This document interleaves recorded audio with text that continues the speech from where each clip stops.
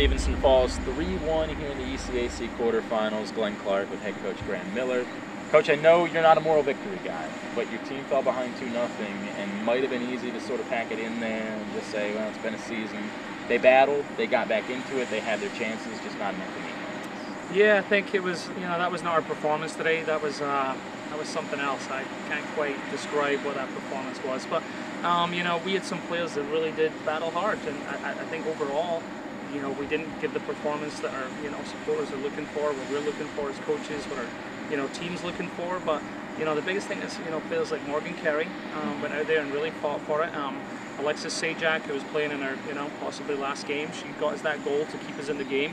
Um, you know, really went after it, and you know, some of the other players, you know, didn't quite get it today. So um, we as coaches will, will remedy that, and you know, the goal, you know, by next August is to, to work on as being more physically tough and mentally tough. So when it comes to these games back to back, that we're ready to put on the same performance as we did yesterday.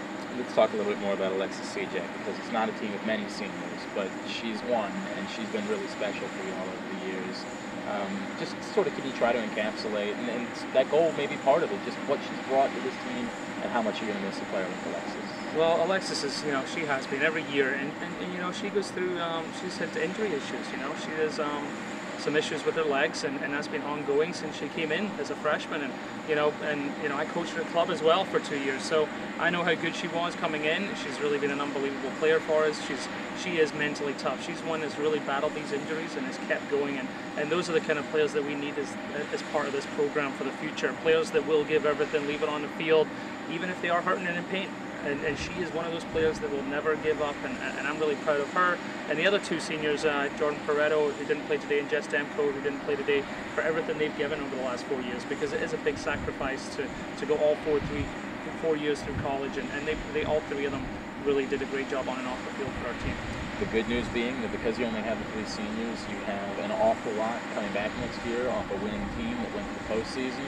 I think there's a lot of reason to be optimistic about next year. Yeah, I think there is. I mean, out of the seven all-conference players we had, you know, only two of them were seniors. So, you know, there is a lot of optimism. I mean, and that's what, like I said, we're we're we were, you know, ready to start recruiting, and we're we've already been recruiting, and we're ready to have our meetings with our players to finish off this season. But yeah, we're looking to the future now. You know, this doesn't, you know, we don't take a rest and think, all right, let's, uh, you know, let's just sit back and we, we went nine, eight, and two, and you know, be happy for the next few months. No, we're going to start right away, and and we're going to build for next year. So I think there is optimism there.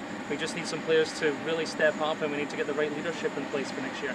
Coach, uh, I know you don't like seeing it come to an end, but congratulations on a winning season and a run to the quarterfinals here in the ECAC season. We'll be talking to you as we get closer next year. Always a pleasure, Glenn. Thank you to you and, and the rest of the staff that um, have done a great job with these videos all year. So thank you. It's been a pleasure. Coach Graeme Millar, I'm Glenn Clark for GoMustangSports.com.